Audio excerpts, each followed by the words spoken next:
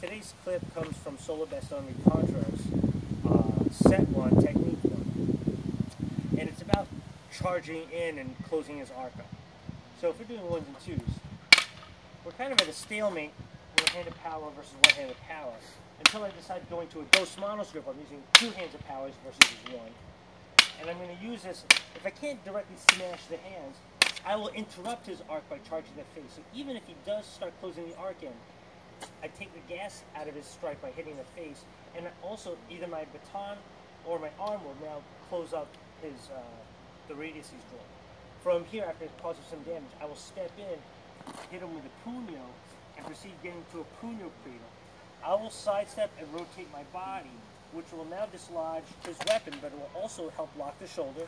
Or if I continue to follow through, I have his back and his leg